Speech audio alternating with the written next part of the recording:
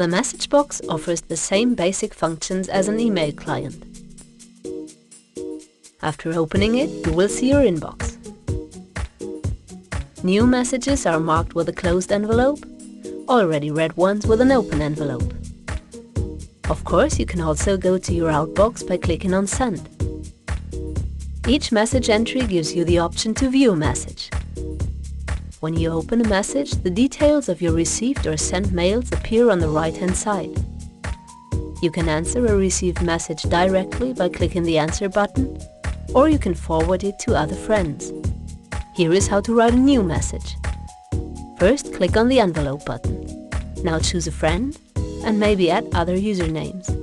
You then enter a subject and write your message. Additionally, Loom TV Messages offer you the possibility to embed your Loom TV channels and favorites with a mouse click in your message. You can also search through your messages. Decide whether you want to search in the in or out box or both, and enter a username, a subject or parts of the message. And of course, you can also delete messages.